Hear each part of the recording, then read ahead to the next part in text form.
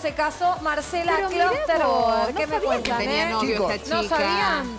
Bueno, ¿Y quién se es el casó muchacho? Marcela Klosterboer. Pero Es hace un mucho rugby. que estaba de Es un rugby, No exactamente. Sí. Es un rugby, se conocen desde hace seis años. Llevan Ah, dos y medio de convivencia y ocho meses atrás decidieron casarse. Bueno, pero muy discretos entonces, Sí, muy bajo perfil. Es la muy época bien. de los casamientos Sí. también, viste que octubre, Y noviembre, bueno, es lo que Bueno, dice temporada Adrián. alta, Adrián claro. sostiene Sí, eso. sí, sí. Sí, En exactamente. mayo ya ven las separaciones. Claro, el hablando frío de el el separaciones. Bueno, me diste el pie eh, ideal. Hablando de separaciones, ella está mal, muchachos. Está Ah, mal.